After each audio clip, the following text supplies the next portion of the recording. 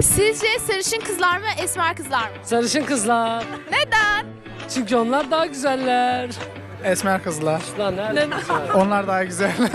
Sarışınlar tabii ki. Esmer kızlar daha doğal oluyor. Zaten bir laf vardır. Sarışının tadı esmerin adı diye. Sarışın kızlar eee, daha böyle alımlı, daha bakımlı olduğunu düşünüyorum sarı kızın. Sarışın erkek mi, esmer erkek mi? Esmer erkek. Sarışın erkek. Sarışının adı, esmerin tadı.